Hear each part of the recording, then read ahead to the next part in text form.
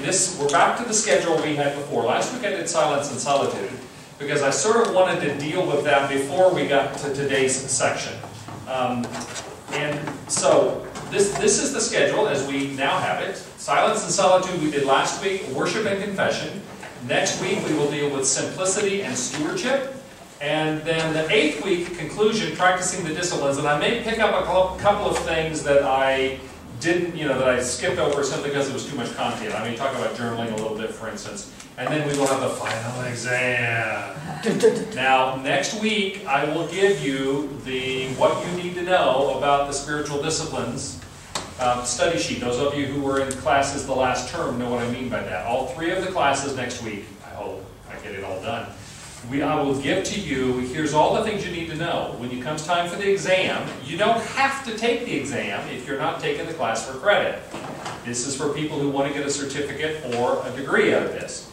Uh, I encourage you to do it anyway because studying the material and practicing and taking the exam um, would be it will be a, an advantage to you because it will help you learn it. Now, let me ask you: Did anybody who was in last last term who took the test, did anybody die from that? Are there any major wounds inflicted? They're not here now. They, just, they just feel like that. They just feel like no. Honestly, I will give you a document next week which will tell you everything that you need on the test, everything you need to know. It really is a summary sheet of everything of significance in the class.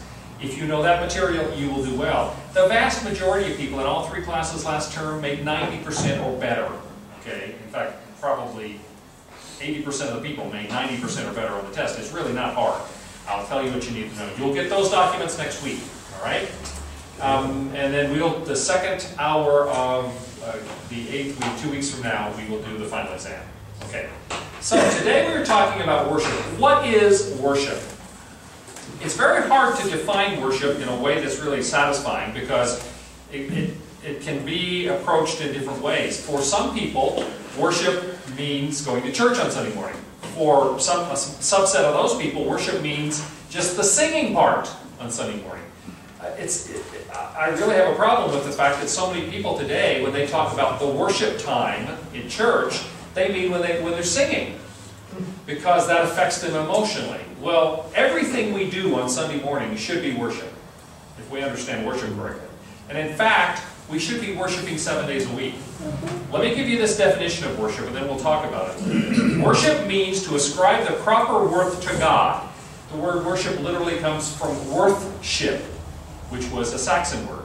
Okay, um, to ascribe the proper worth to God, to acknowledge that He is worthy of praise, and to approach and address God as worthy of all glory and honor.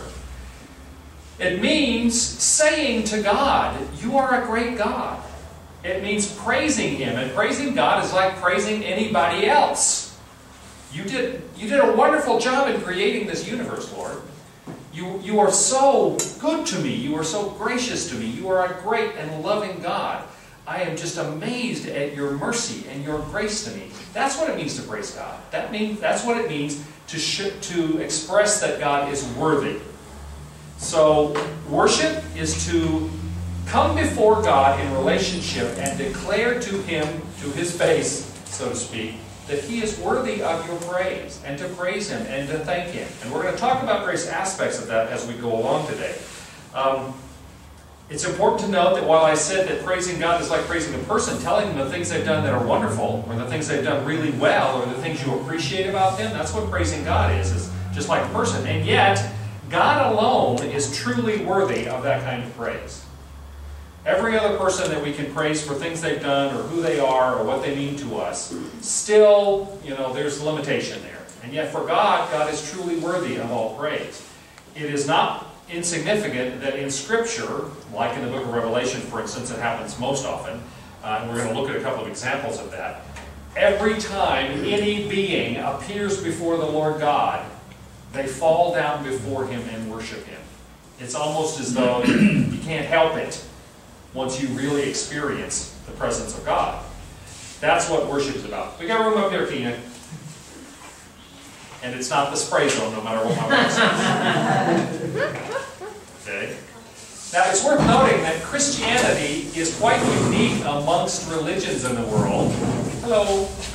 Uh, in that, Christianity calls for us to have a personal and intimate relationship with God. There's no other religion in which that's truly the case. Now, in Islam, for instance, they believe that there is one God, but God is seen as a as such a transcendent being, you're not expected to be able to have a relationship with him. They don't have the sense of immanence that we have. You know, transcendence, God is different than us. Immanence, God is close to us. He's made himself available.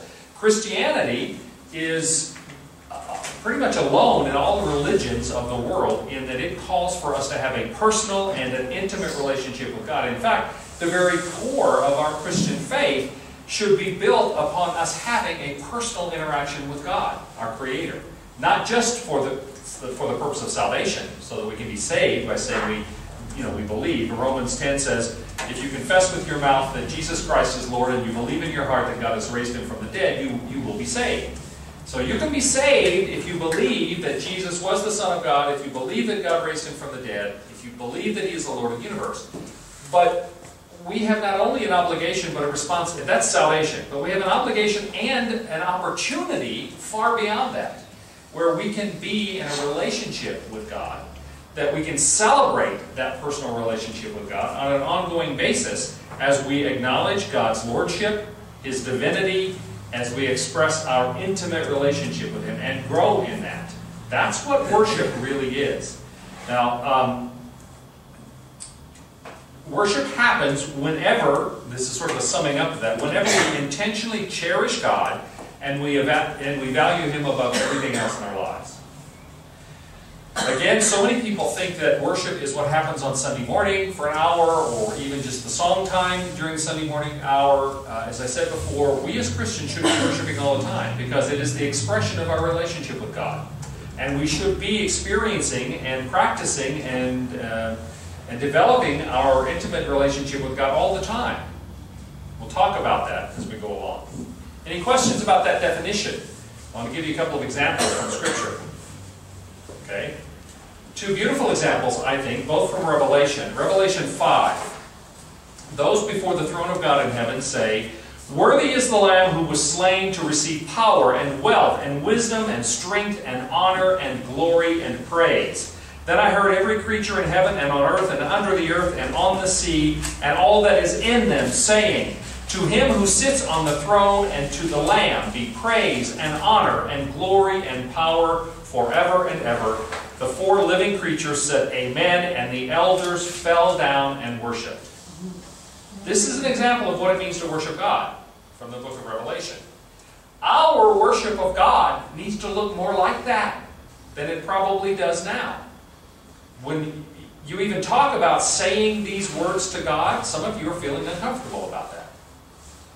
And yet, that's what worship is. It is to praise God for His greatness, for his, his, his being creator, for His mercy, for His grace. It is to tell God we thank Him. And I'm going to talk about some things like gratitude a little bit later as part of worship. But this is what worship looks like.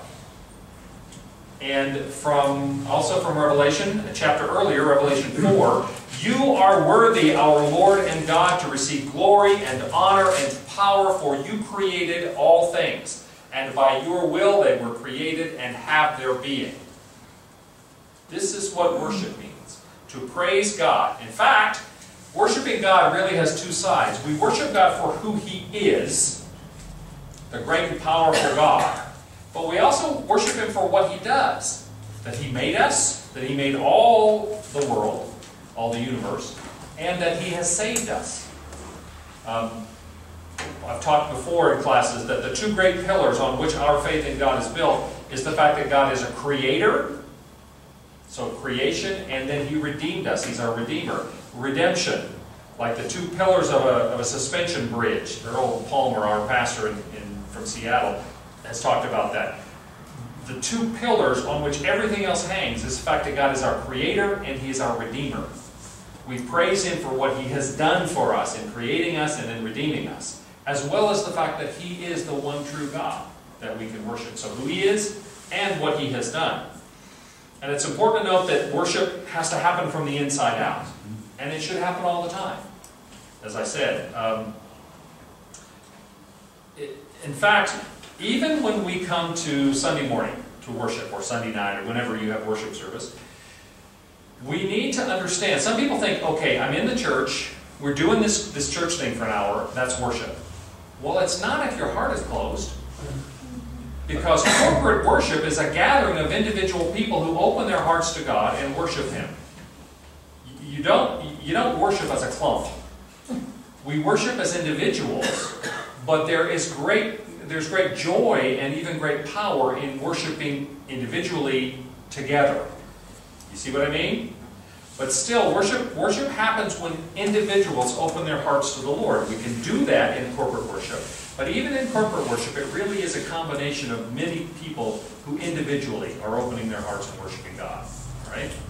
Um, and again, we can't believe that just because on a given given day we show up in a particular specialized building that worship is happening. It's not.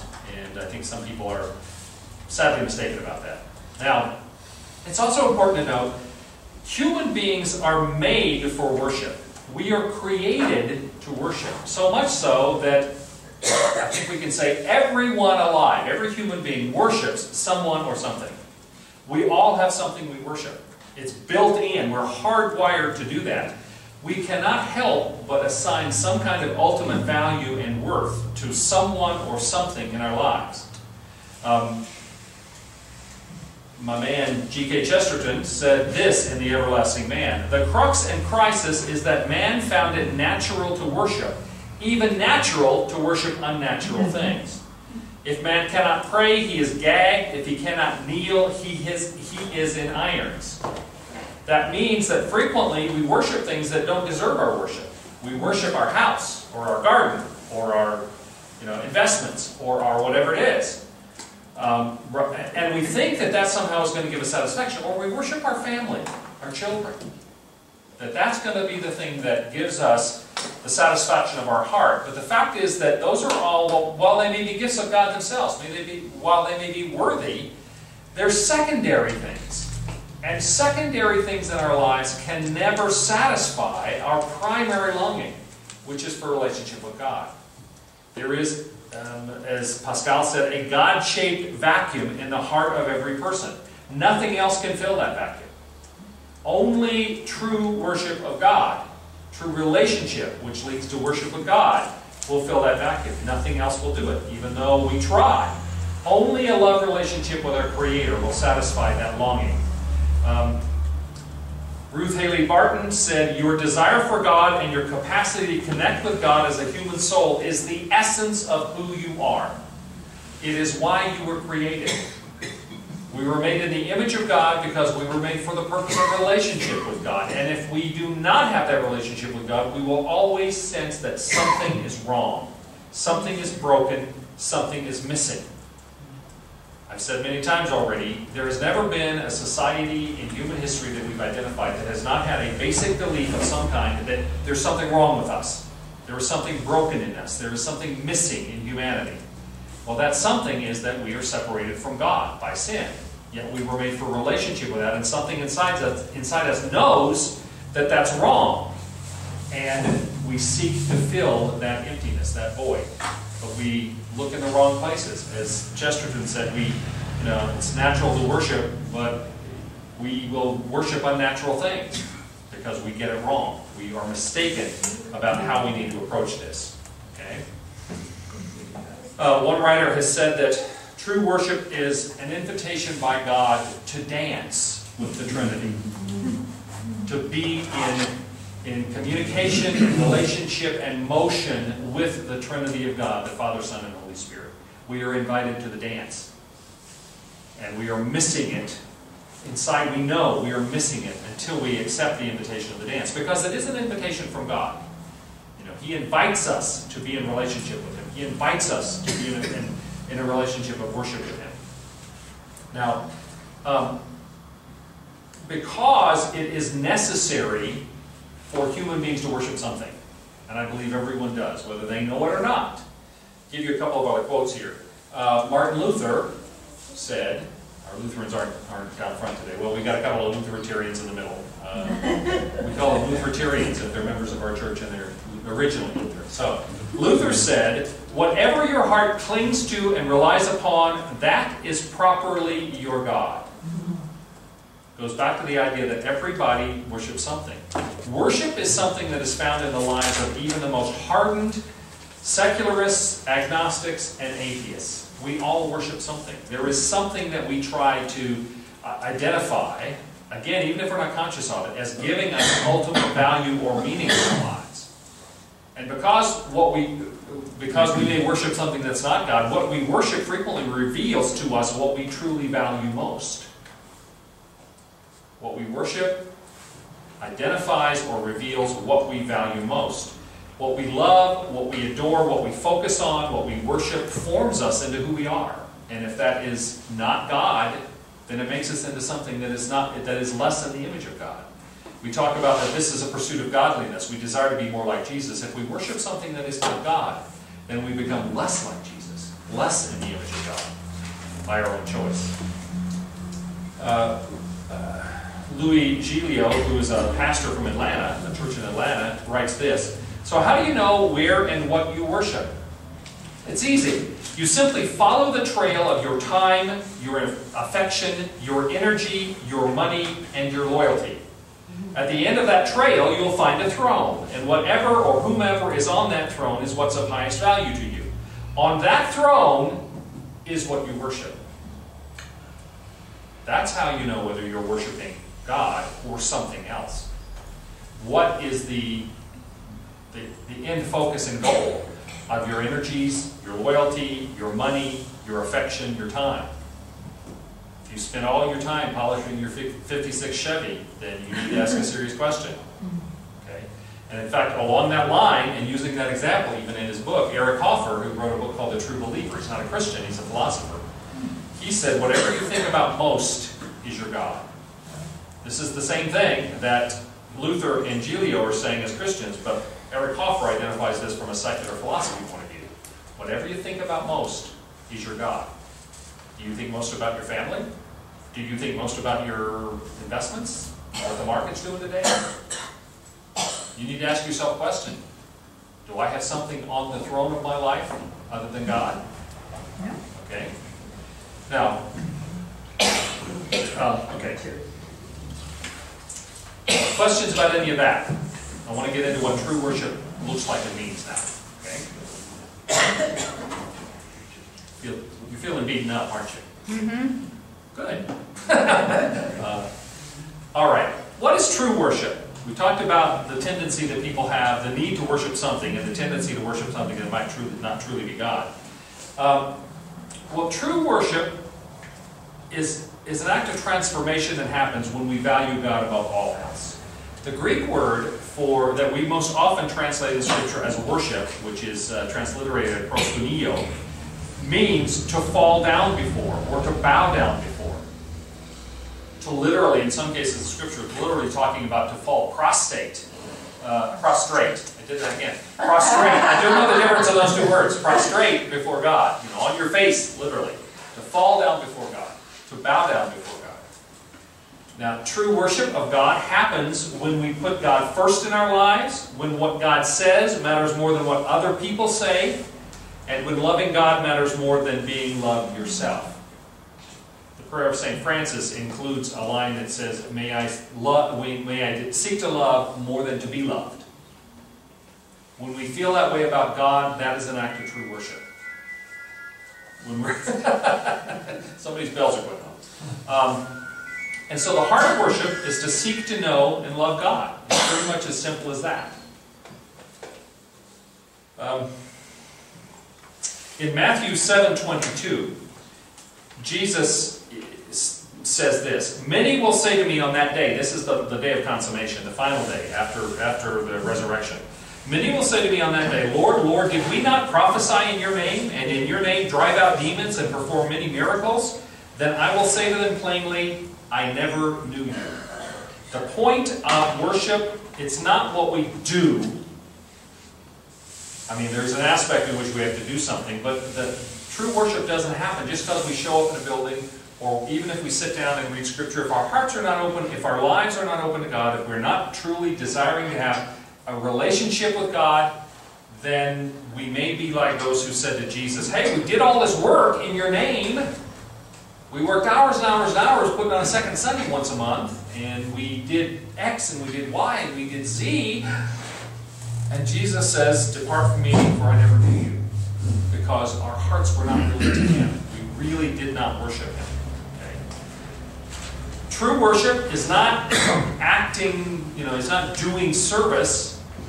It is instead to fall into the arms of God, as one writer has said, and say, Here I am, do with me what you will. A true act of worship is to fall in, you know, I told you proskuneo, uh, proskuneo, which means to, to bow before God or fall before God. Sort of a version of that, that true worship means to fall into the arms of God, to sort of surrender ourselves to Him and say, Here I am, do with me what you will. I am yours. A major theme in Scripture is the issue or the, the uh, statement, I guess I should say, in John 4, when Jesus is talking to the Samaritan woman at the well. And the Samaritan woman at the well is saying, Well, we worship God here on this mountain, which was outside Samaria, because they were from the northern kingdom, they got separated from the southern kingdom of the temple. She says, We worship here on this mountain, and you worship at the temple in Jerusalem, you Jews because the Samaritans and Jews had, had divided. And Jesus says, you know, it's not an issue of where you worship. In fact, that's the least of the issues. It's not a geographical question, he's saying. He then says this Yet a time is coming, and has now come, when the true worshippers will worship the Father in, the spirit, in spirit and in truth, and they are the kinds of worshippers the Father seeks. God is spirit, and his worshippers must worship in, the, in spirit and in truth. Okay? Um, what does that mean? What does it mean to worship God in spirit and in truth? I want to talk about that for a few minutes because I do believe that brings us to the most pointed understanding of how we begin the process of worshiping God. There are certain requirements we have to worship God in spirit. The first one is we must be born again. It simply is not possible for someone to worship as Jesus describes it as being worshiping in the Spirit and truth unless they are saved, unless they are um, redeemed by Jesus Christ, part of His body. You must be born again. 1 Corinthians 2.11 says, No one knows the thoughts of God except the Spirit of God. And Scripture says the Spirit of God is given to those who have accepted Jesus Christ. So unless you are in Christ, you do not have the Spirit of God present in your life. And if you do not have the Spirit of God present in your life, you do not know the thoughts of God, you cannot truly worship God. There's a sequence here, and it begins with us accepting Jesus Christ and being saved in Him. All right? And you all know you can ask questions as we go along. So stop me if you've got a question. Okay? So that's the first thing.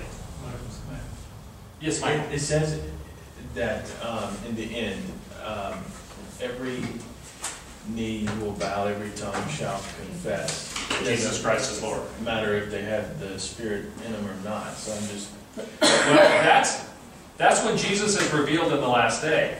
That does not mean that all of those people are truly worshiping God. They are simply acknowledging that He is Lord. Uh, in the book of James, it says, You say you believe in God, you do well. The demons believe and they tremble.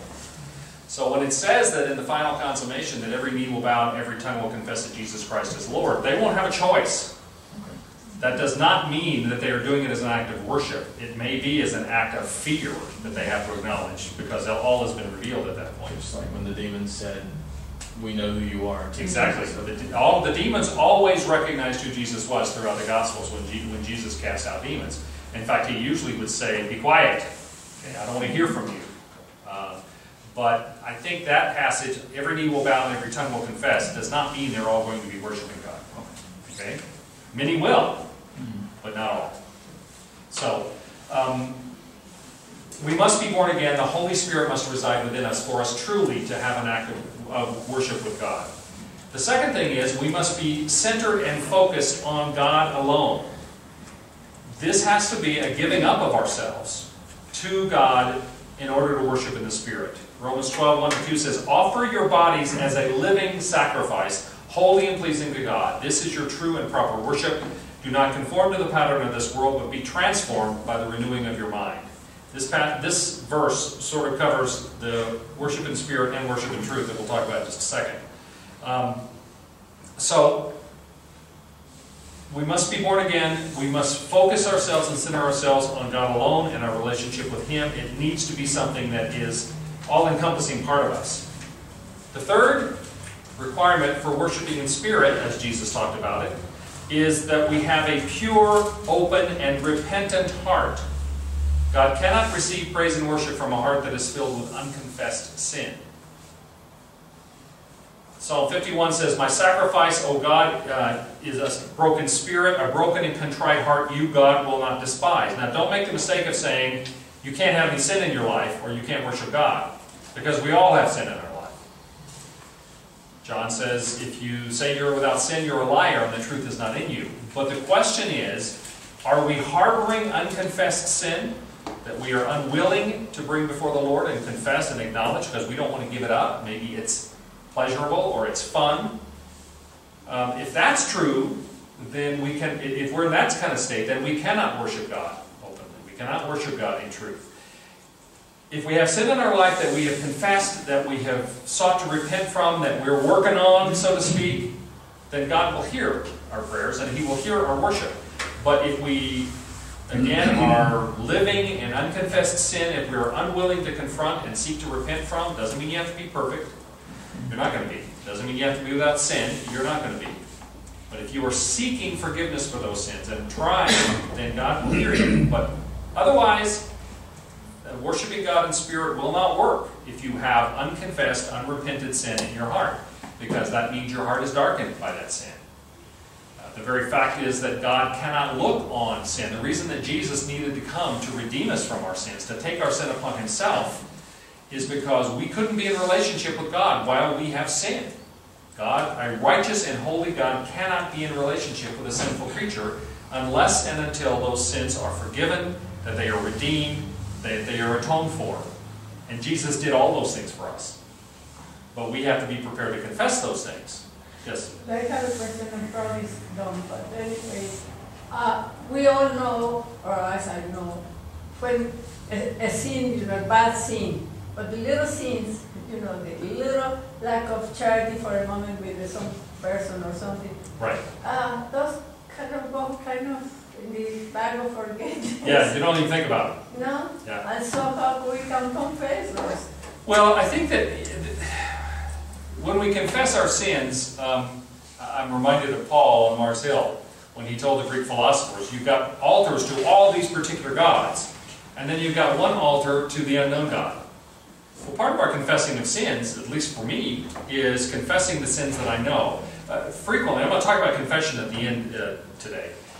Too often, our confession is, Lord, forgive me for all my sins. Amen. I'm on. Okay? I think we have to be more contrite than that. And again, it's, I don't have to beat myself up for, God, for Jesus to forgive me of my sins. But He expects me to, to take seriously the fact that His great sacrifice on my behalf because, was because I'm a, I was and am a sinner.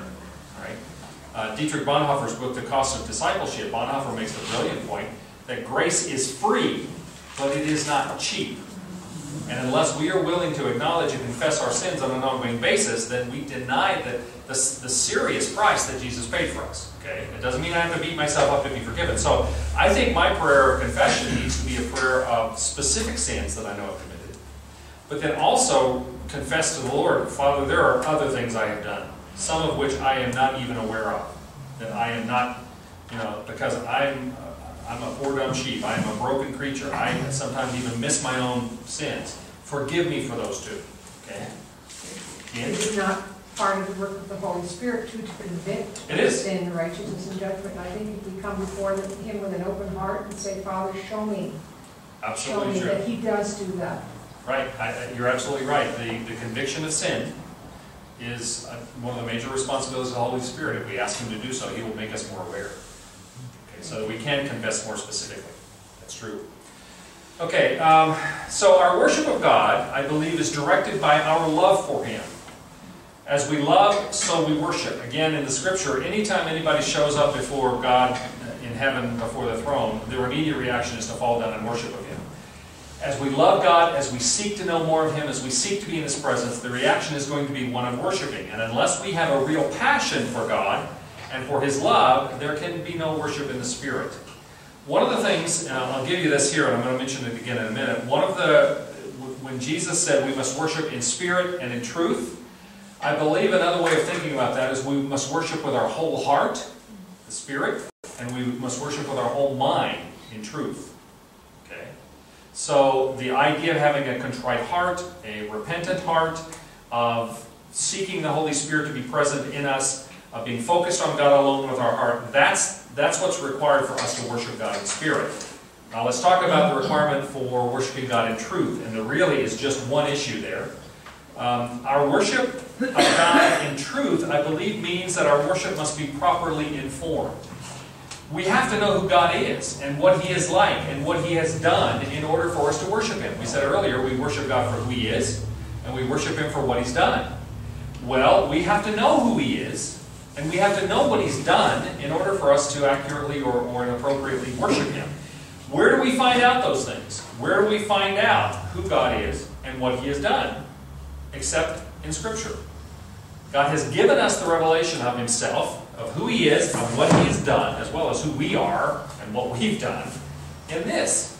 And so I believe worshiping God in truth means to be properly informed about God, who He is, what He's done, based upon and consistent with the Word of God. John 17, 17, sanctify them by the truth, your word is truth.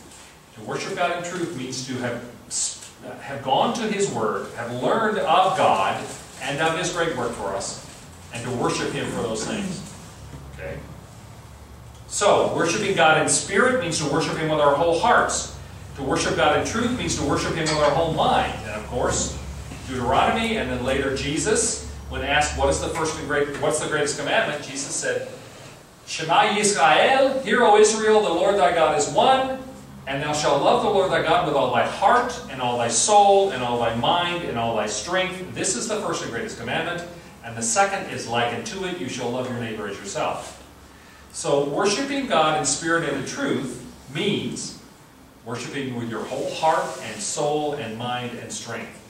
Particularly, worshiping Him in spirit means with an open and true heart that is repentant and to worship Him in truth means to worship Him with your mind as being informed by God's Word as to what God is like and what He has done for us.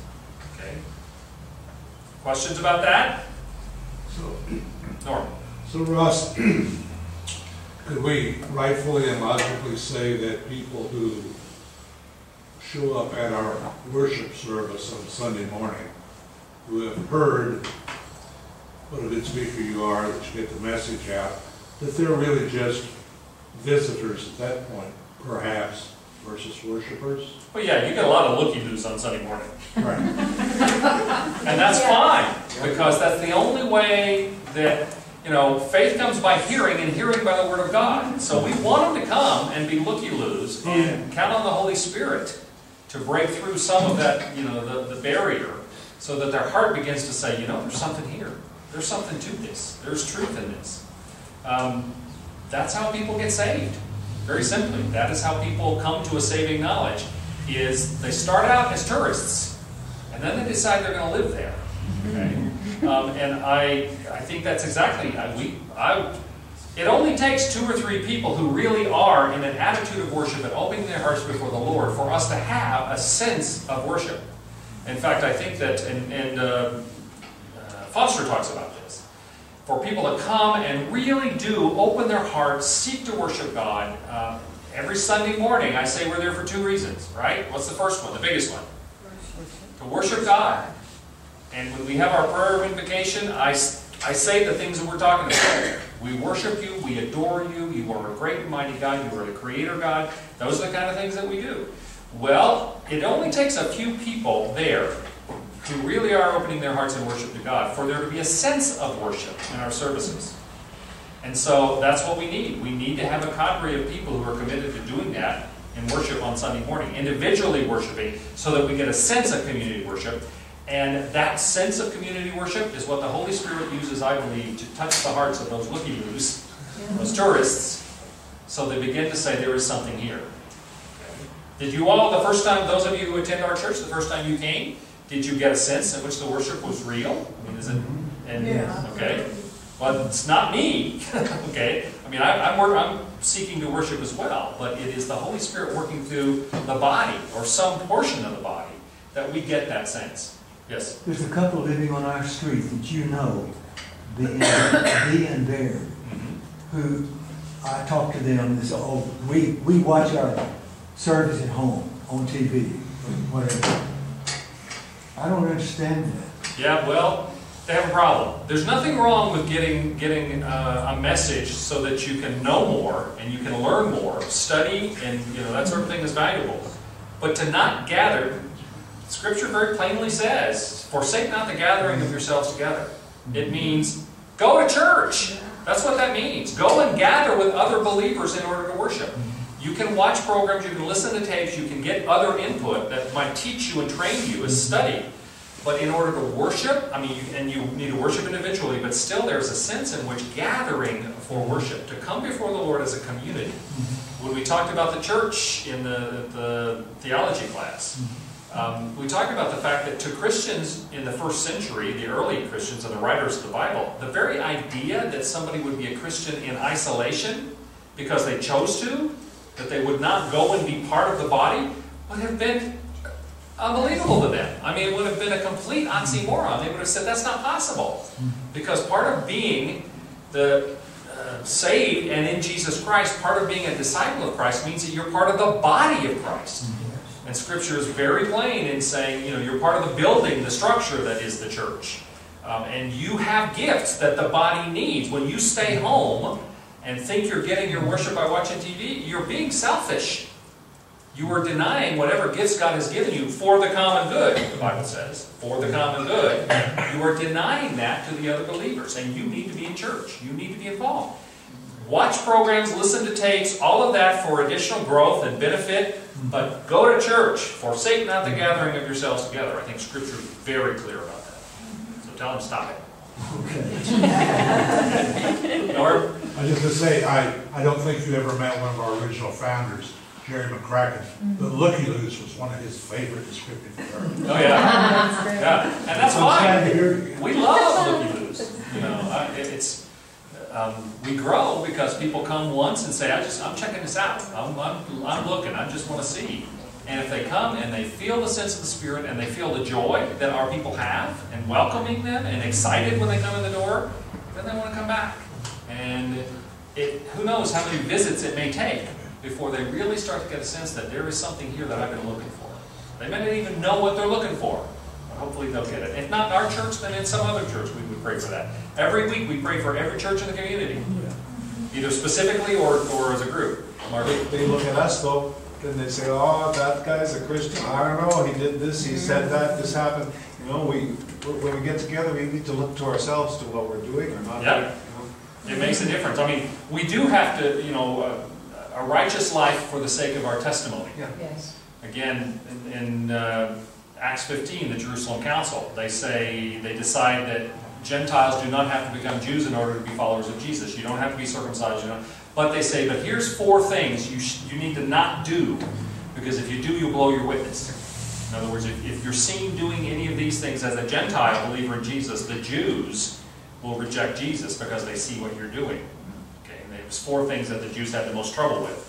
So, yeah, we have to be concerned about that. We also can't beat ourselves up. I mean, we, we all, we've all been worse people than we are now in Jesus. I, when I got in college, when I, I saved in high school, I really left the Lord in a serious way in college. And when I came back to the Lord, some long time after that, I was having uh, dinner one night with a friend of mine, and she looked across the table and she sort of smiled, shook her head, and I said, "What?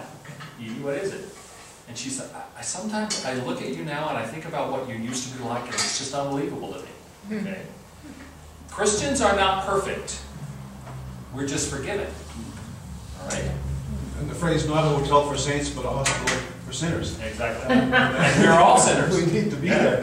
We are, we are a hospital for sinners, and we are all sinners. Some of us are, are further along in the recovery process, but until the Lord comes back, we are all in recovery. Yes? Well, I was thinking, you pray for the churches in the community, but all, all of us have children that are not in this community. You pray for all, all of our people? We pray for them too. I mean, you know, Okay.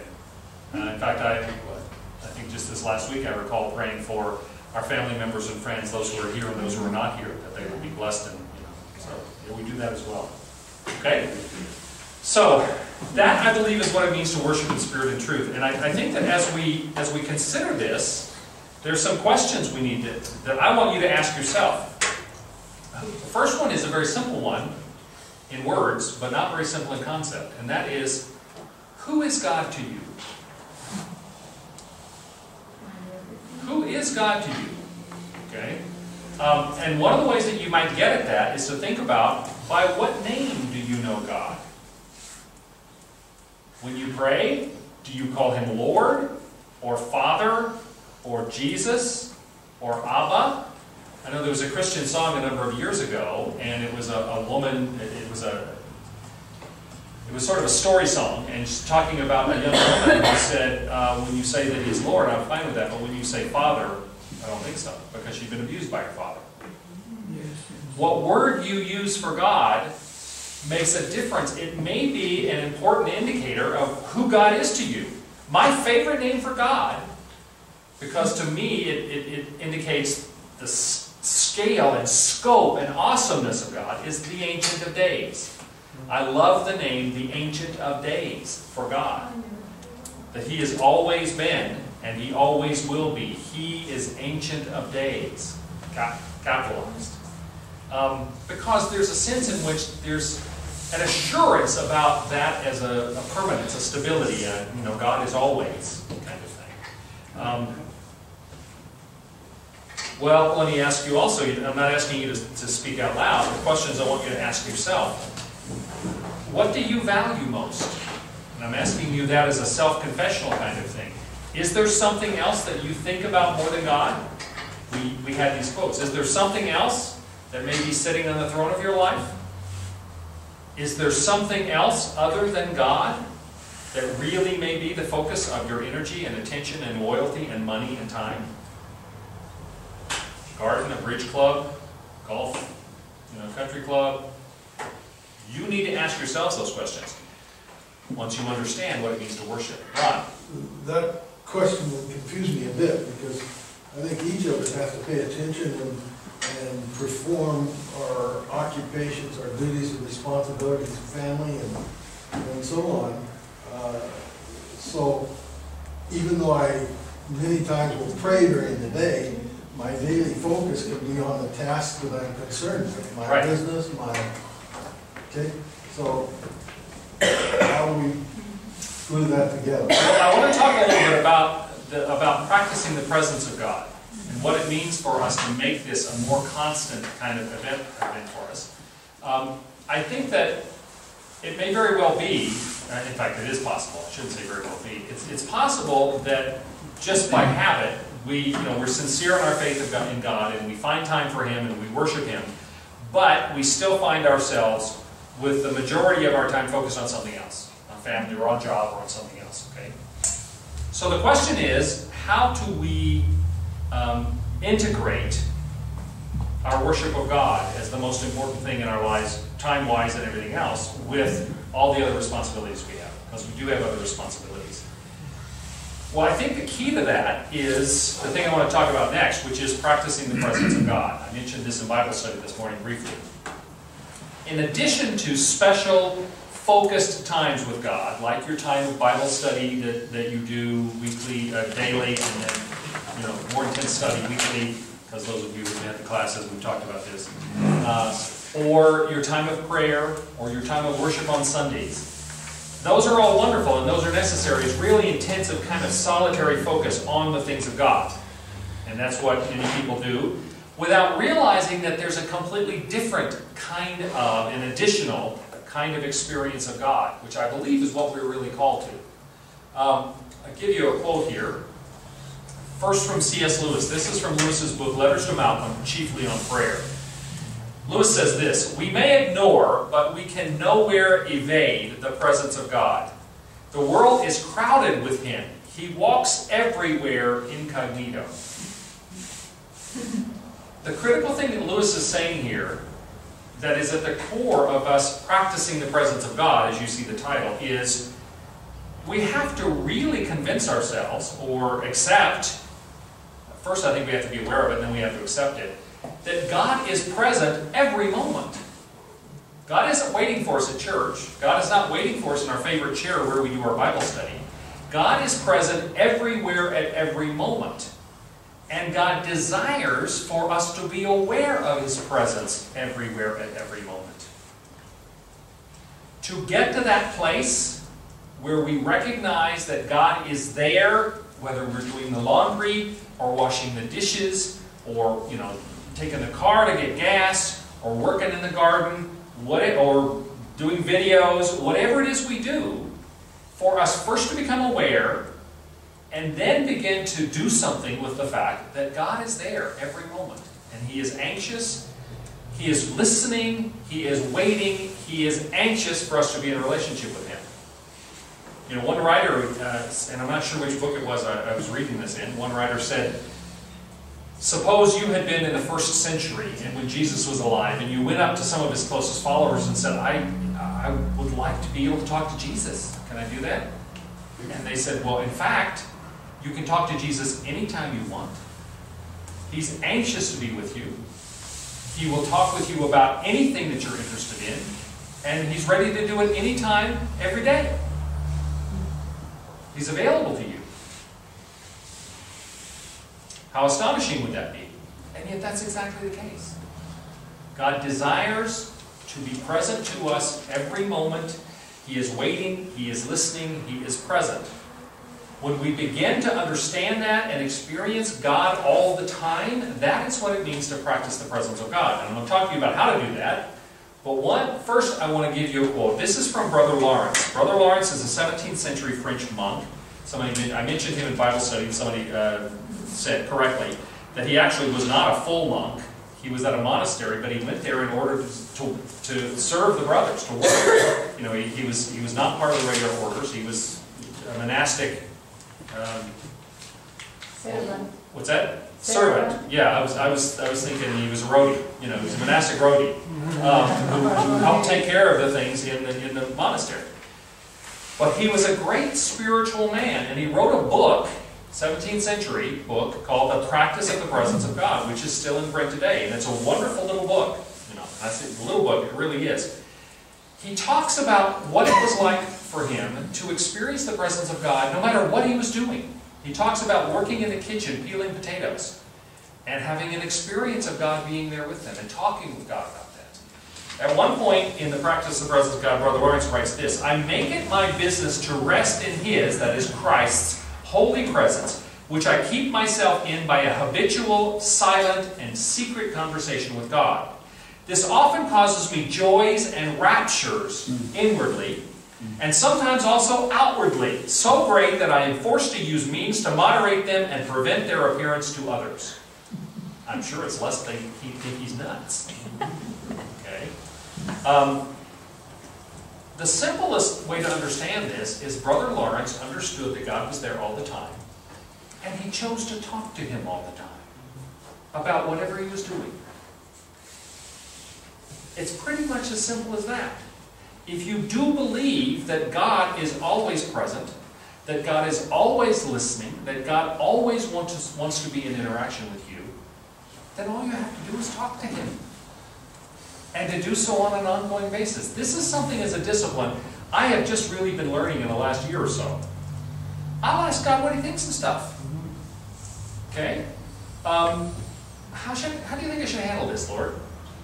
You know, not big, earth-shaking, massive issues, um, but that's really cool. Don't you think so, God? Now that may sound silly to you, but the point is, whatever you are doing, whatever your activities are, wherever you are during your day or your life, talk to God about it. As simple as that. As though He's your best friend and He's sitting in the passenger seat and you're, you're wanting to just communicate with Him about it. That is what it means to practice the presence of God. A God who is listening and waiting and there. Yes? I don't know if this is appropriate, but last night I was watching the passengers come off the cruise ship. And there was a woman who came, and she literally, what, what made me think of this was the need to moderate something. she came over to the anchors and she said, we're not supposed to stop, but I must say, we were saved by the glory of God. And she just, she, her enthusiasm was phenomenal Yep. at that point. Yeah, I- and I think that, and it sounds like she, I'm gonna talk about gratitude in a minute. It sounds like for all of the, the really miserable circumstance they found themselves in, that she was giving praise to God for protecting them, for saving them, whatever. Right. You know, that's the gratitude. I'm, again, I'm gonna talk about some other specific issues related to this. But the main thing here is practicing the presence of God is not about a strategy. There's, it's not a strategy, it's about a relationship. If you, if you love Jesus, if you are in Christ, if you believe that God loves you and is present to you all the time, then practice your relationship with Him, His presence with you all the time. Now, are times you might not do it, not like Brother Lawrence says, you might not want to do it out loud, you know, uh, simply because people might not understand. It's not because we're afraid of what they think, it's because th- that might not be the best witness. You know, um, yes, Uh, this reminds me of a verse that says, pray without ceasing. I used to have a problem with that. okay. Because I'd sit there and go, how do I pray without ceasing when I'm driving my car? I'm not gonna do that. This addresses it from a practical point, uh, point exactly. It absolutely does. In fact, now that you mention that passage from Philippians 4, um, well, um, I won't get into that not right now, but you're exactly right. This is how you pray without ceasing. Most of us have it in our heads that prayer means I sit down, I've got a list, I tell God what I need, what I want, etc. Well, we've talked about, when we talked about prayer, the fact that that's not what prayer is. Prayer is relationship. Okay? There's several different words for prayer, and the most important one, the most powerful one, the one that Jesus uses when even his disciples aren't able to perform miracles, means literally to call on God to be present with us. All right? Proseuchomai is the Greek word. To call on God to be present, meaning to participate with us in something. Well, that's what it means when you carry on a conversation with God throughout the day. You are praying without ceasing. You are calling upon Him to be present in your life, practicing His presence all day long. It really isn't more complicated than that. And yet, not only Brother Lawrence, C.S. Lewis, and others who have experienced this in their lives, this is where you come to feel the sense that God truly is the God that you love and worship and are open to, and not just somebody that you go and give a, give a list of needs to once or twice a day, or however often. This is what it means to worship God all the time, to pray without ceasing. Well, you know, but you're talking about that we all believe this, that we have the presence of God with us all the time. Mhm. Well, when I'm watching TV, and I tell you I try to watch only decent programs, but even in decent programs, there are some things that if my mother was there, I would switch it immediately off. But God is there, His presence is there, Yeah. and I don't switch it off. Yep. So we need to be more, I need to be more conscious that God is with me, and I should Well- clean, the- clean the atmosphere too. Yeah, I mean, you're, you're, you're taking it to the point of saying, okay, if I start doing this, then that means I'm gonna have to change mm-hmm. some. And that's very true. You start doing this and you will change. First, you'll recognize that you need to change. We all do. We can all do better. We can all be more what God wants us to be. But we will start to see, you know, if God's, there- if we really start taking seriously the fact that God is there all the time, then that may, you know, you, you can't actually go, go in your bedroom and lock the door and think that He's not gonna see you anymore. Okay? Um, that, that makes, that makes a difference. Um, the, there are positives and negatives about this, but the bracelets that, that uh, especially kids were wearing, some adults too, uh, WWJD, what would Jesus do? Yeah, there- th- that, that kind of got, um, it got overused, it got a little cheesy, you know, there was, I saw one guy, a clip from a, from a celebrity poker game, you know, the guy's trying to decide whether to raise or fall, and they said, well, what would Jesus do? So it, it got a little overplayed. But the idea behind that of recognizing that Jesus is there, that God is present with you, that He cares what's going on, that He's paying attention, and for us to have a conversation with Him about that is all right. That's all correct. Whether that particular thing has been overdone a little bit or not, whether it's been parodied or not, okay? Some of the things that I think that, that will lead us in this direction toward practicing the presence of God is for us to think about, um, do we allow God to get our attention during the day?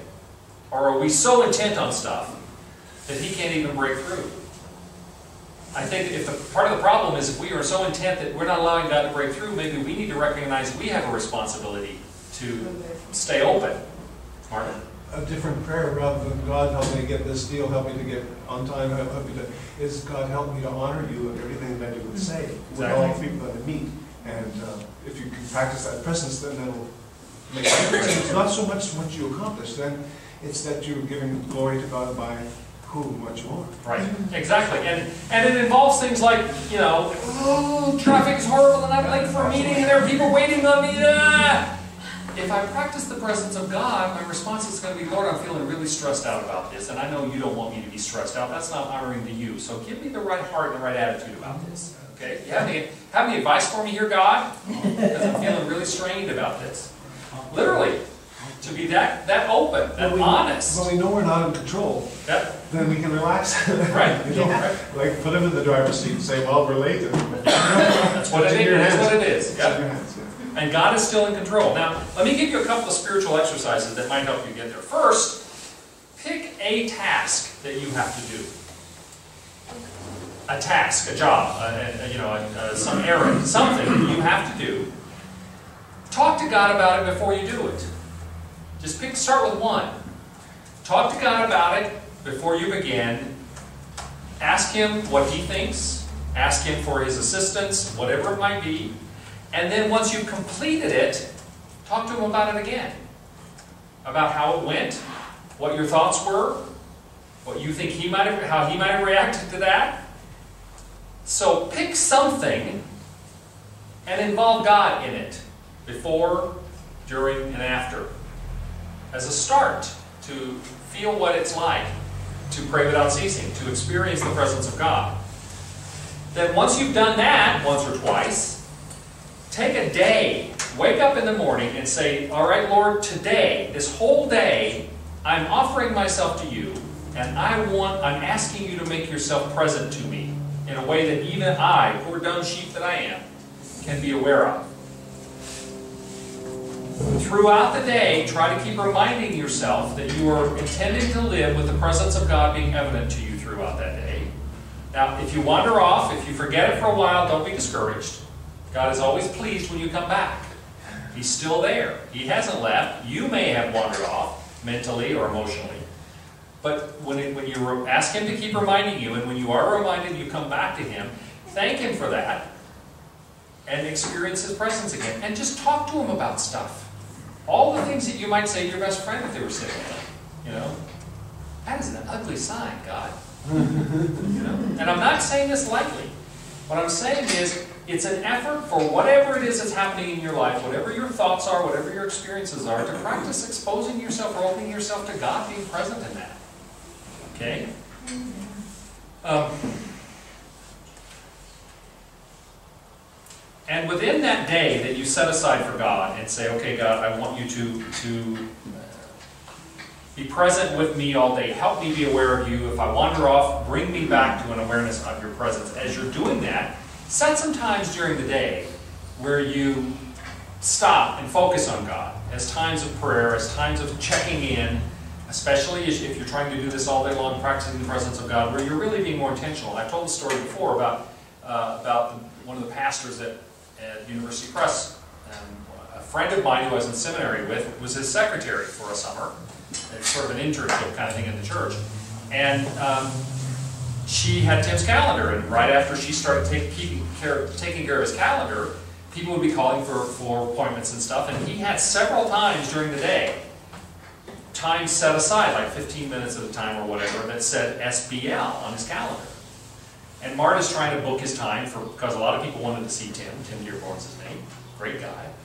And uh, Marta told me the story, and she said, so she finally went to Tim after a few days and said, Tim, I got people wanting to meet with you, and you've got these things on your calendar that say SBL. Can I play with those? Can I move them around? And what are they?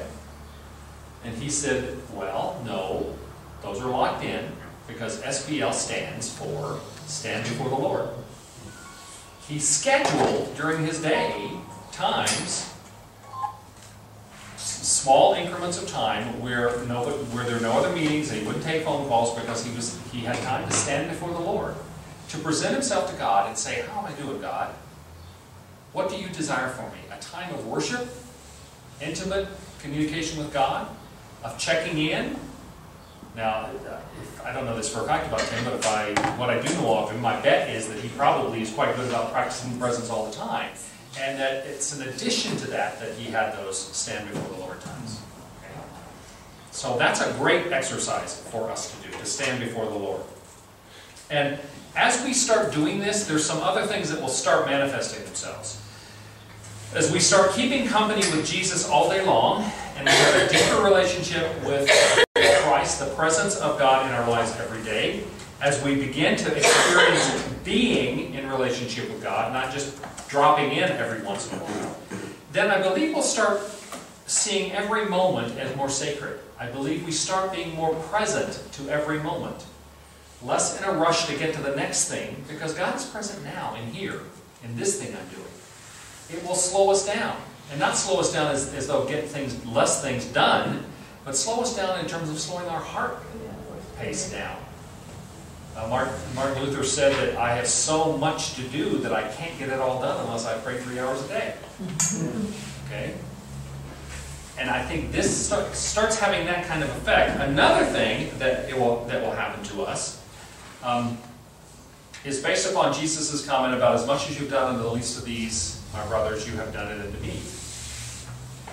My friend Richard Sears, teaching a Bible study once um, when I was in college, I was just out of college, he said, okay, for a minute, I want you to think of the most despicable person that you know. I mean, the people that are just, the, some person in your life that is just obnoxious and smelly and a pain in the buns. You just can't stand to be around them. When they walk in a room, you want to leave. They're just horrible. That's who Jesus is to you. Mm-hmm. Because that's the least of these. The least of these doesn't just mean the poor and the children and the broken. It means the least desirable.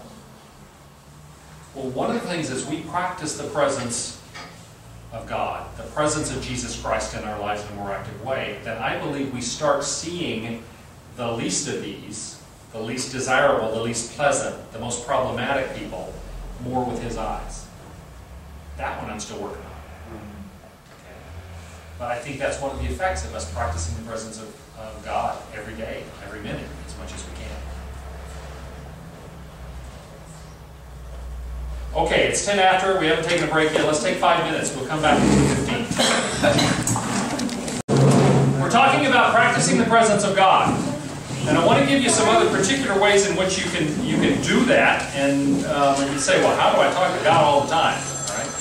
All right. Uh, hello? Just answer his phone when he calls. Uh, the, I think the most important way, and, and I think in many ways spiritually, one of the things that we miss, that we really need to start practicing, and that will be part of our practicing the presence of God all the time, is, is to, where is it? Keep going. Ah, there we go. Is to practice gratitude. Everything you are, everything you have, everything you are blessed by is a gift to you from God. In Bible study this morning, we talked about you know the treasures you have, your money, your possessions, your material blessings, your time, the very fact that you are alive and moving, and your uh, talents, all of the things you're capable of doing, all are gifts from God. Everything you have are gifts from God. The brokenness that you experience, the illness, the whatever, those are those are really products of the fall. That was not how God intended it to be. It was our sin that introduced all of that hard stuff. All right? God still supports us and encourages and maintains us and blesses us and shows us grace and mercy even in the midst of those things. But all of the things that God gives us, we should be thanking Him for all the time. Are we? I mean, you can practice the presence of God by simply spending your time thanking God for every event and activity. G.K. Chesterton, one of my great heroes, the people who write about him say that one of the, one of the primary characteristics of that man and his life is he was grateful for everything. He would give thanks for a flower, or a cloud, or a, a post box, just for the design of it, and the glory of it, and the wonder of the world that God gave us. And it wasn't because he was an idiot, he was a genius almost beyond count.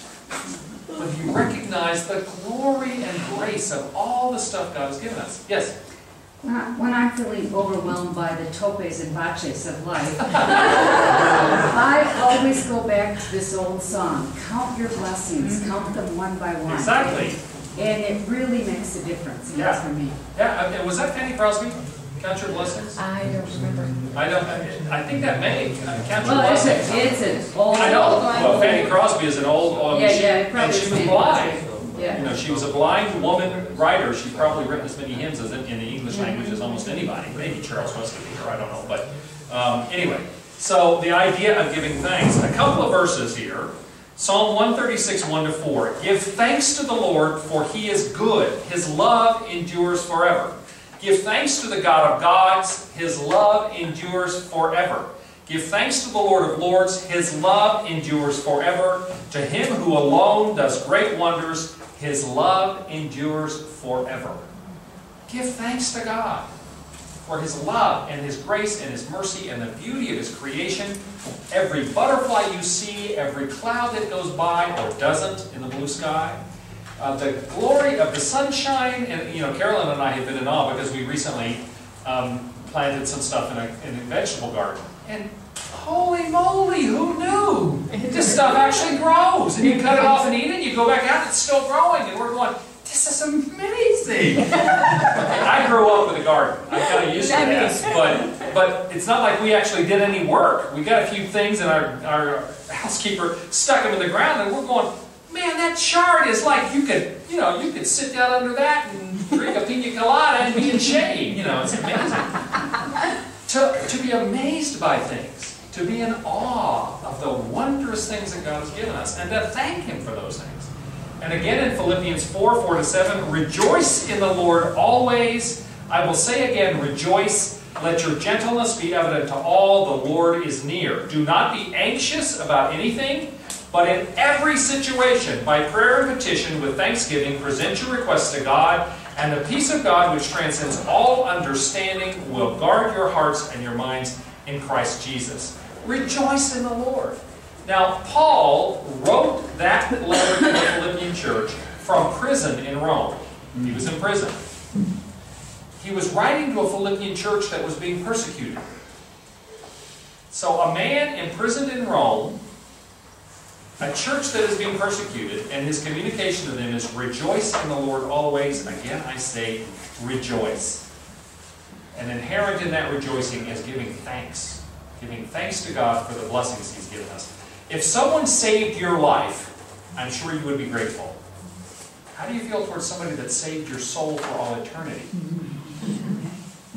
Is there not room for gratitude there? Jesus, it's interesting to notice that Jesus himself practiced gratitude.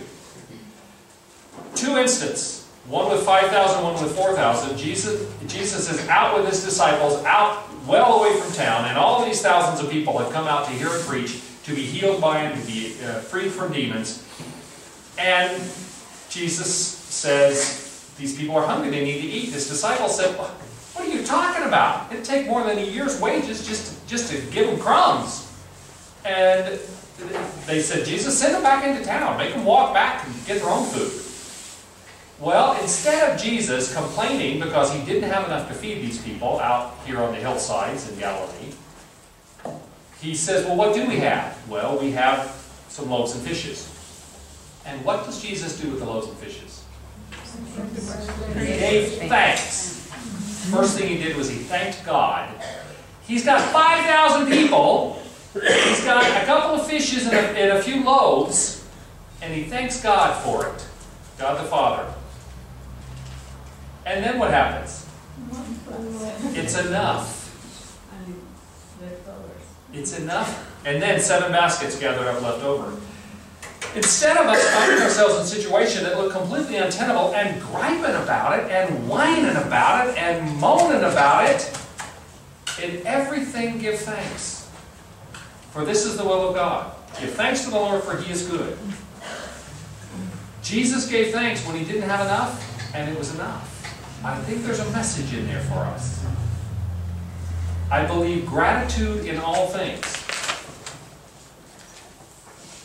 I believe that if you are seeking to practice the presence of God, and as you're starting out, you don't know what else to say, try saying thanks. And you can find a lot of things if you're if you're sensitive to this, if you're open to it, you can find a lot of stuff to be thankful for. Don't you think? Oh, yeah. So gratitude, I believe, is one of the keys, both to us having the right kind of relationship um, with God, and also is a way for us to begin to practice the presence of God on an ongoing basis. If you have nothing else to say, you can still say thanks. Okay? Um, another thing that you might do is to start keeping, if you're keeping a journal, as I say, I may talk about journal, journaling a little bit later because I haven't really dealt with that. If you keep a prayer journal or a journal of any kind, maybe start keeping a sidebar kind of list of the abundances that God has blessed you with. All of the gifts that God has given, the blessings, the abundance. And folks, there's nobody sitting in this room that has not experienced abundances. All right? Um, all of the wonderful things that God has given you, start writing them down. And I think you might be amazed, if you're disciplined about writing those things down, just how many pages you start filling up with the great gifts. And then the converse side of this, in terms of our gratitude to God, is um, stop focusing on the things you don't have.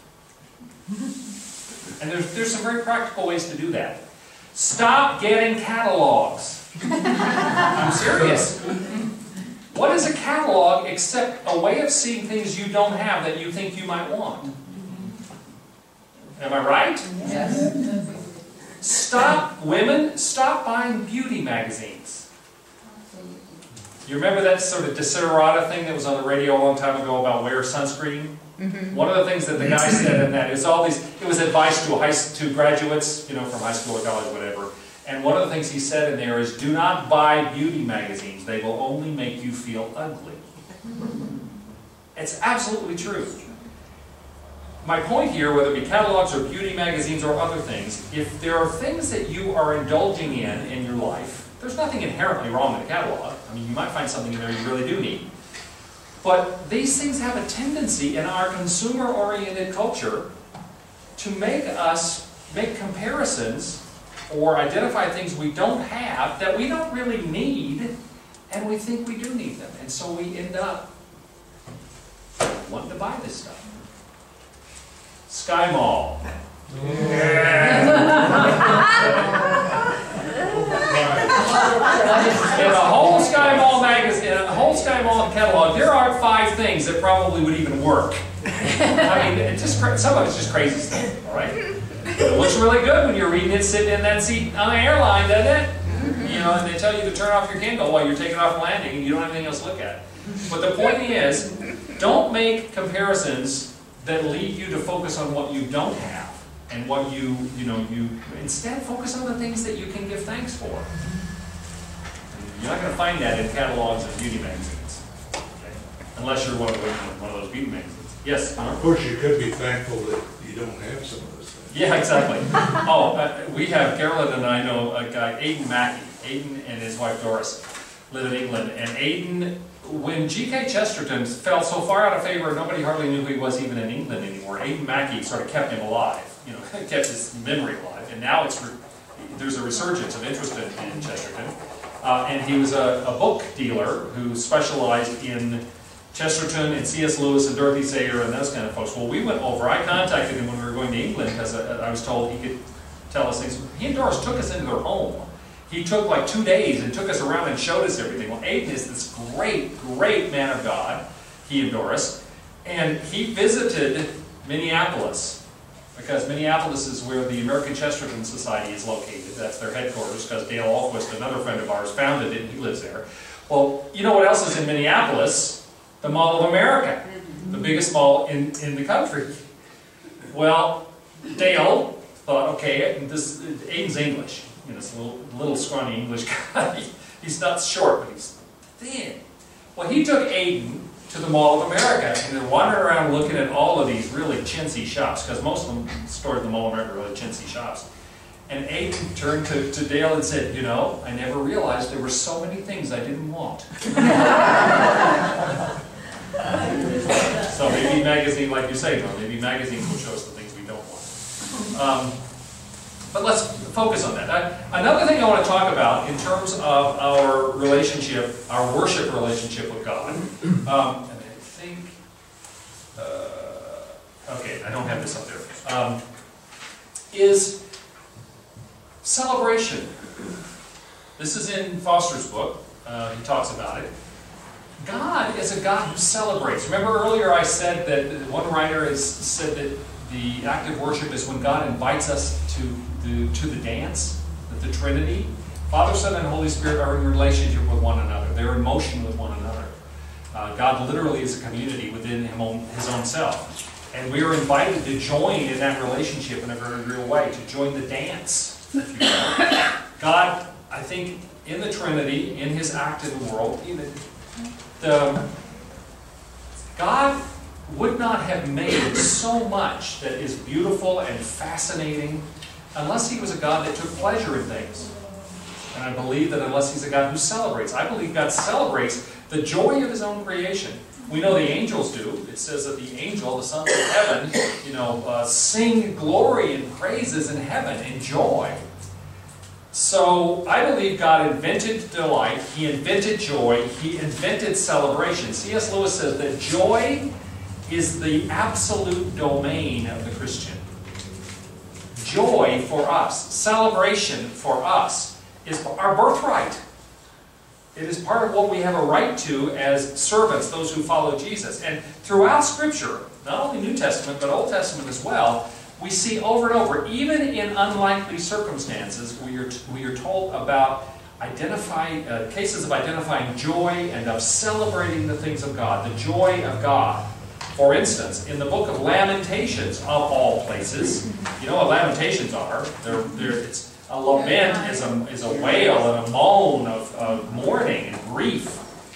Well, Jeremiah, who's called the weeping prophet, because Jeremiah had a rough go of it. He was persecuted and beaten and jailed and all kinds of stuff. He was there when Jerusalem fell and the temple was destroyed. That's the book of Lamentations is about that. It's a it's about the destruction of God's holy temple and his holy city and the imprisonment by the Babylonians of the Jewish people. It's a really rough time for the Jewish people. And yet, in Lamentations, the third chapter, beginning with the 20th verse, you hear first the current situation and then you hear Jeremiah's reaction to it. He says, My soul is downcast within me. Yet this I call to mind, and therefore I have hope. Because of the Lord's great love, we are not consumed. For his compassions never fail, they are new every morning. His compassions never fail, they are new every morning. You've probably heard that, haven't you? Mm-hmm. Did you know it was in Lamentations and it was written at the time of the destruction of Jerusalem and the temple? This is where we, even in the midst of untold trauma, which is what this was to the Jewish people and to, and to Jeremiah, we can say God's compassions never fail, they are new every morning. We can find reason for delight and hope and celebration even at hard times. How much more can we not find them in times of beauty and glory?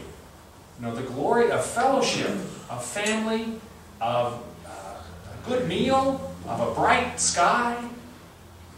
We can celebrate this stuff, and I don't think that we realize often enough that part of our uh, practicing the presence of God, of worshiping God, needs to be an act of celebration.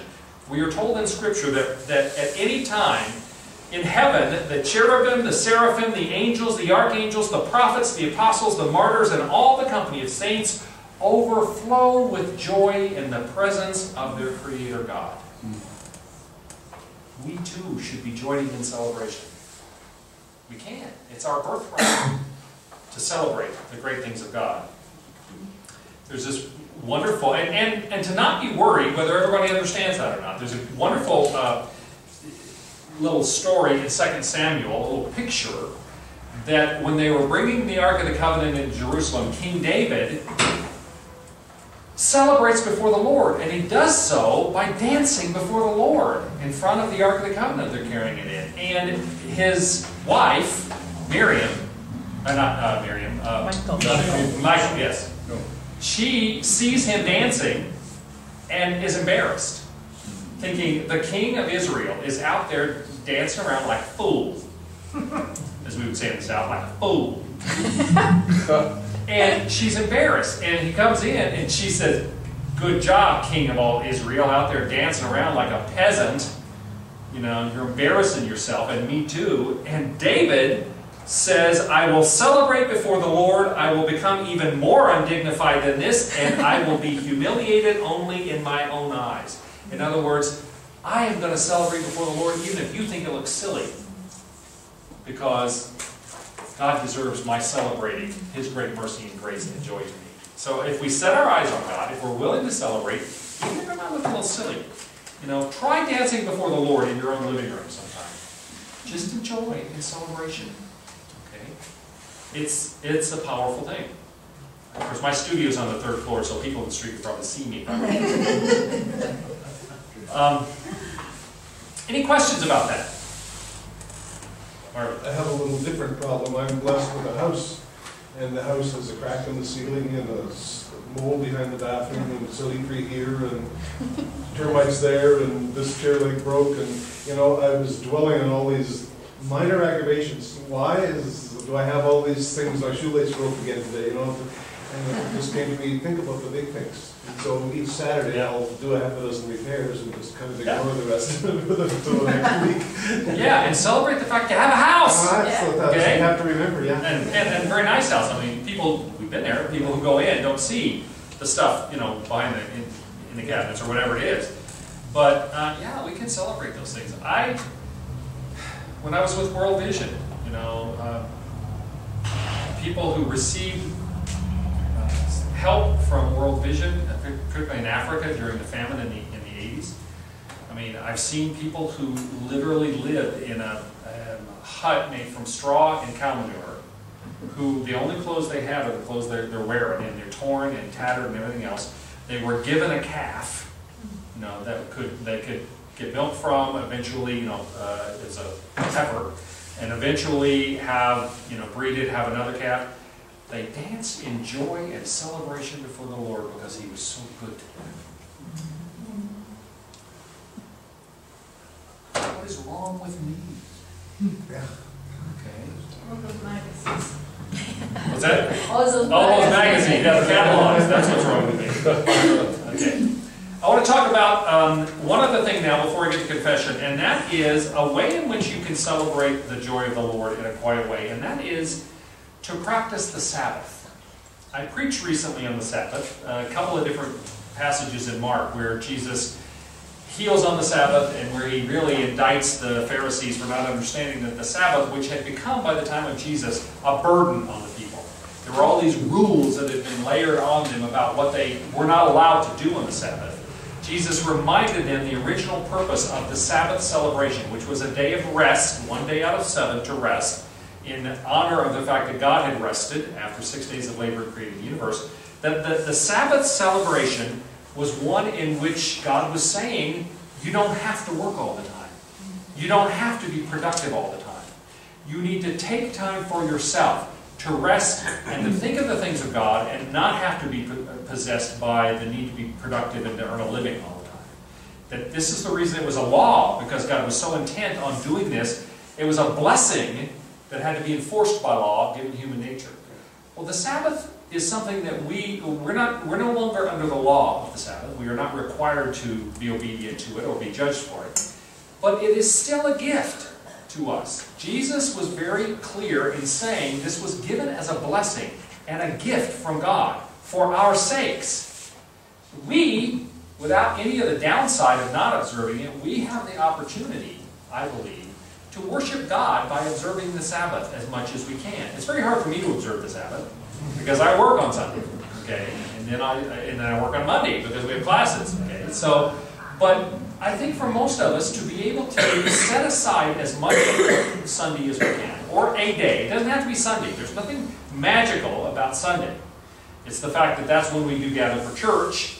That that's a day when we can, you know, probably more directly do this. To set aside a day when we rest, when we renew ourselves physically as well as spiritually, when we uh, find time to be with the Lord without other, you know, distractions or that sort of thing.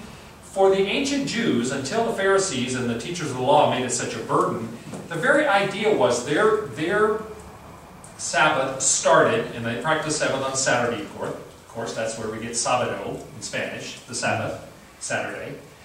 They would start at sunset on Friday night.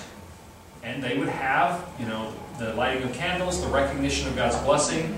They would not work, you know, that they would, uh, and when they rested, they would wake up on Saturday morning and they would say, This is a day where we do not have to work, we do not have to be productive, we can come before the Lord.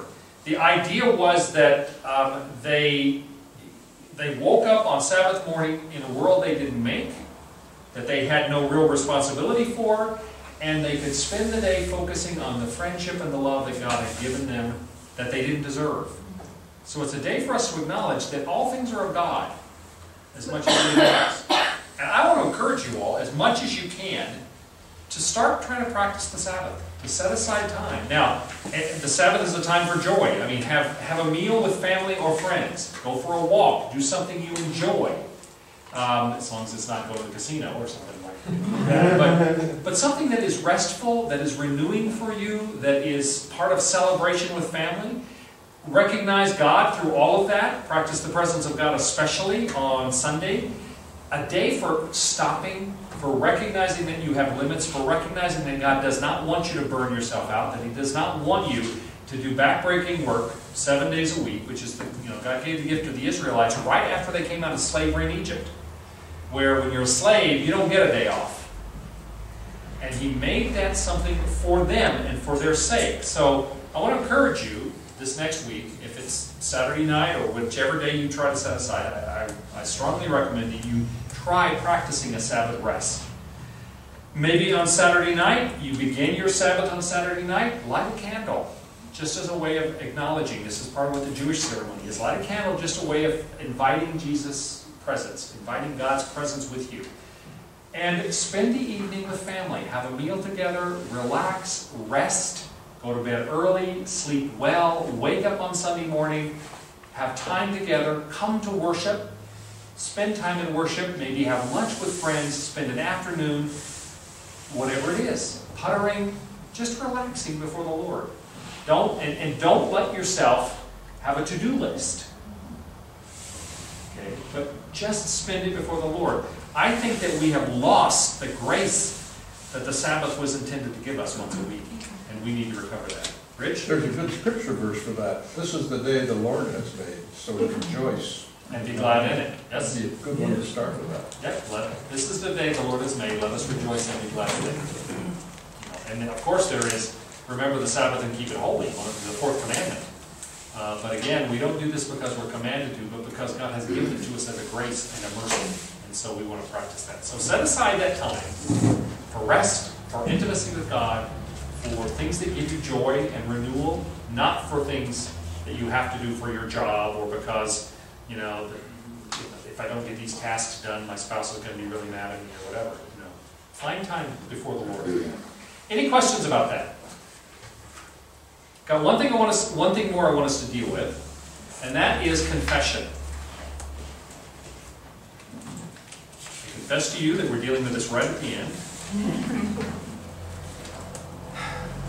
We have, and I talked about this again a little bit in Bible study this morning, we have lost the sense of confession, I believe because we threw the baby out with the bathwater.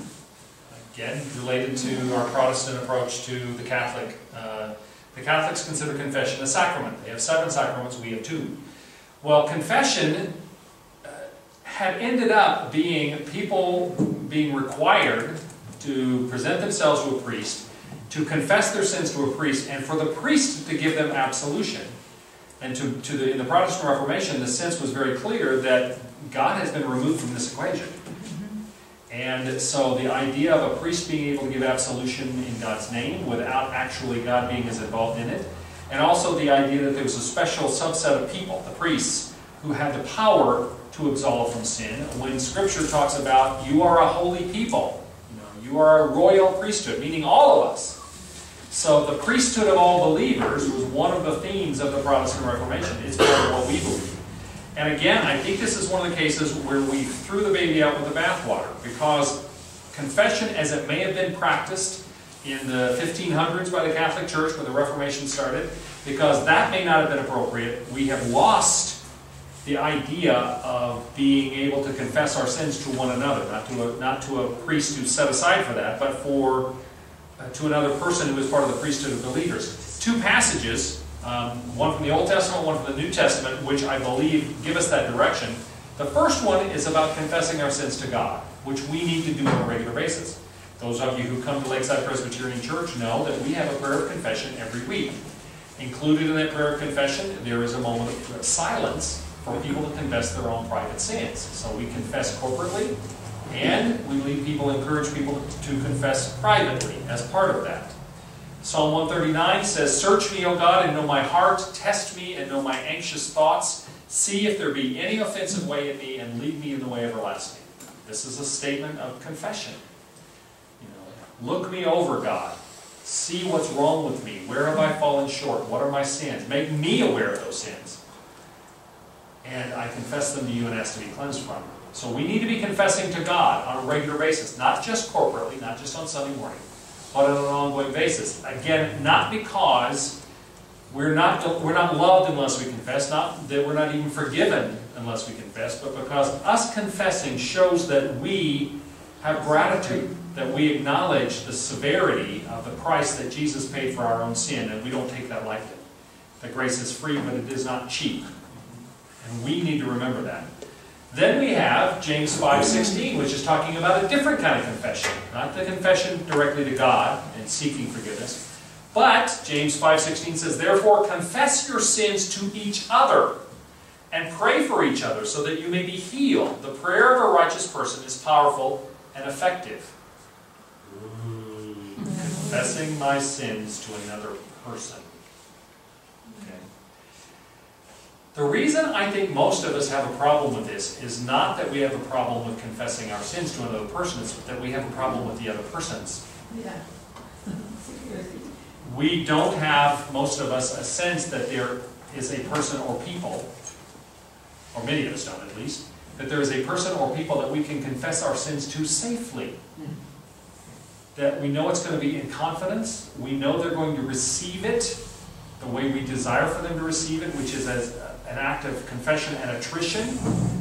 There is something amazing, and this has always been understood to be the case, there is something astonishingly healing about confessing our sins to another person. This was true Catholic confession as well. But the problem is that in the church today, we, do, we are not intimate enough with each other. We are not close enough with each other. We, are not, we do not present ourselves to each other in a way that you know that you can trust the other people. And we should be. As brothers and sisters in the Lord, as members of the body of Christ, we should be people that know that we can trust the other people. And we're missing that, and we need to try to regain that. So the issue of confession being a problem for us, we really need to address a different problem, and that is we need to do everything we can to be trustworthy and, and loyal people to one another. That we build the bonds of relationship within the church so that that trust can exist. And that comes with, with practice. Michael?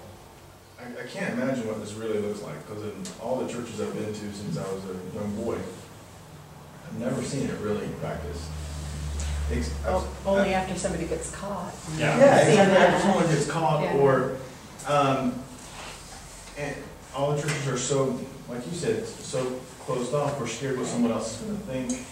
Um, I did go to one church that was another strange extreme, where they called all the men forward to stand in a line and pass the mic down and confess all their sins to everybody publicly over a microphone. And uh, that's, some strange extreme, uh, there's, uh, what does this really look like? I can't imagine. Well, what, I think Foster has a couple of good examples of his own experience of confession uh, in his book, um, the chapter on confession. He talks about the fact that of having someone that you grow a relationship with. And he, he also talks about the fact that if you don't have anyone in your life that you feel you can confess to right now, pray, ask God to bring somebody into your life that you can trust in that way. And not only that you can trust in that way, but that is really trustworthy in that way. So first, we ask God to bring someone to our lives like that. And I think very wisely, he also, um, Foster also acknowledges that if there are sins that you have that you cannot confess in specifics, then if you have someone in your life that you can go to and say, I have a sin that I, the burden of a sin that is troubling me so much I cannot talk about the specifics of it. I cannot bring myself at this point to share with you exactly what it is, but I am heavily burdened I need a prayer. And have that person pray for you. And to, to are you okay? Yeah. Okay. Um, it just seems wrong for me to keep talking and she's having a problem. Um, and to say, pray for me for the sin that the, the details of which I can't get into. And it may be that we start there and God will lead us to the place where we do have a secure enough and safe enough relationship with somebody. But again, part of what it is, is we need to be praying that the whole body is, is uh, knitted together in such a way that we begin to develop that kind of ability. Now, the idea of calling people up and giving them a microphone and say, okay, everybody confess your sin, so that everybody does. I actually saw once a woman come to the front, and she was saying, okay, I, want, I need to confess my sin. This was at a charismatic church that I visited with a friend. Now, pick it on the charismatics. Uh, and she and this woman said, I need to confess that you know my husband is really wimpy, and so I get frustrated with that. So sometimes I, you know, I sort of take command because he won't. And in front of in front of everybody, in the front of the church. And she said, you know, and I had this vision where where um, I had his pants. I was I was I had the pants of the family, and and God told me to go out and take take his pants off the line where I had them and take them and give them back to him so that he could wear the pants of the family. And I'm thinking, holy crap, lady, do you really think that's the right thing to do in public? I mean, I was just appalled.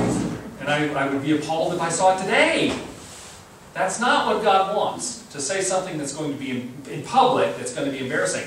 This is talking about confessing our sins to each other, I believe, in private.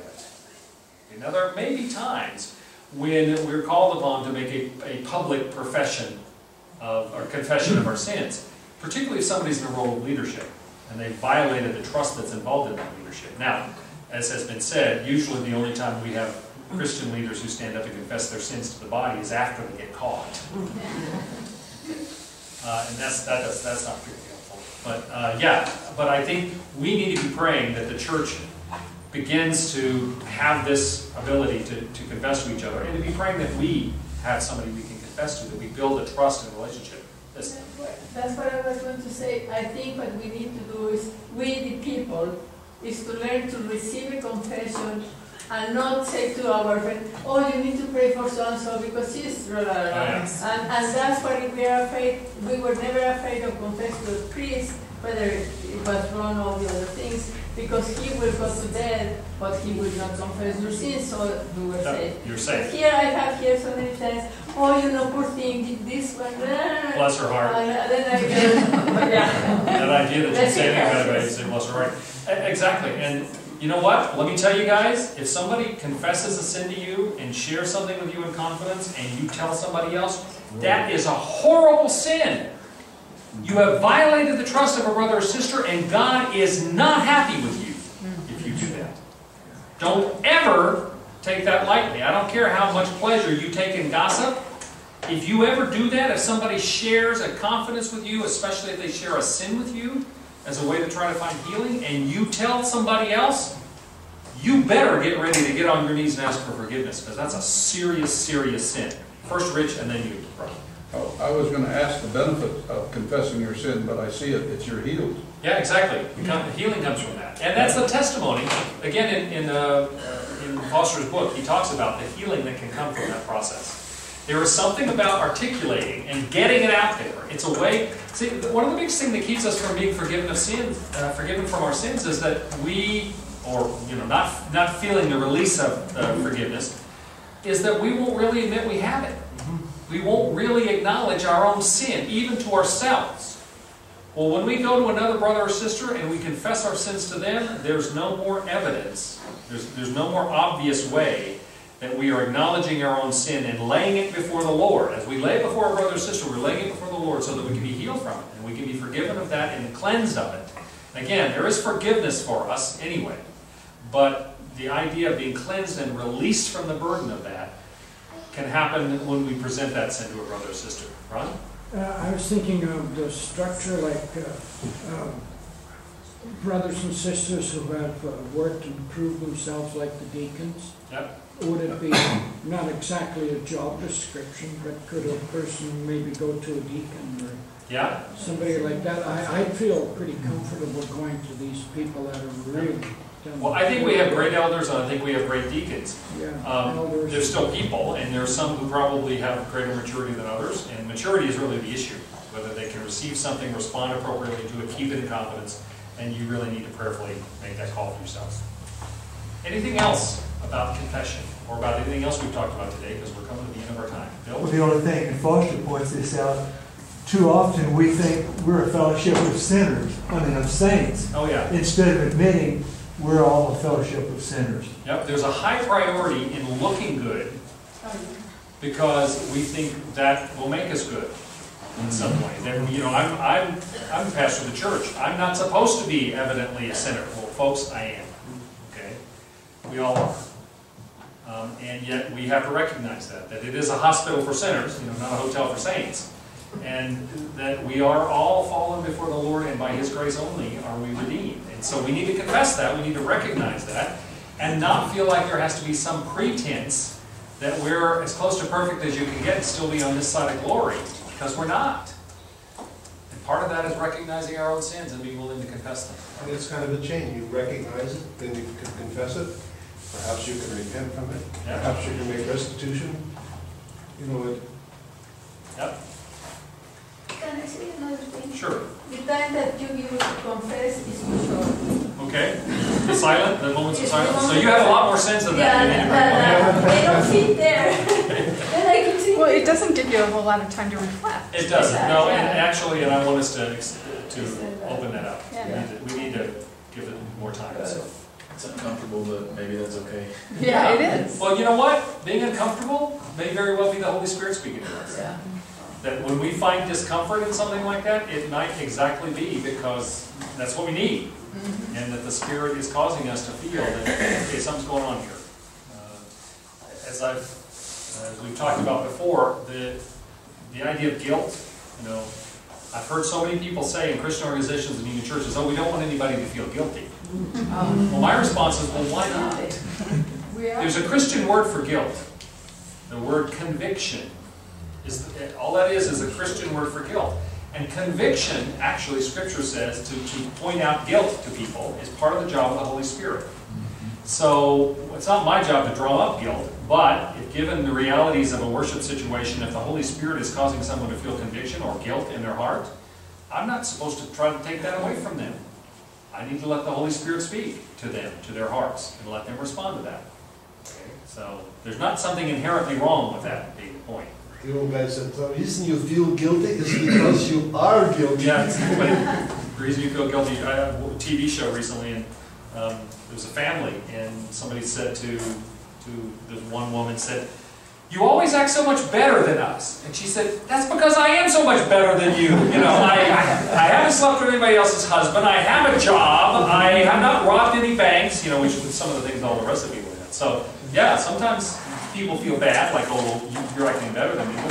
Yeah, because I've done things I shouldn't have done, and I need to feel guilty about that. So, Let me close in prayer, and we will go for the day.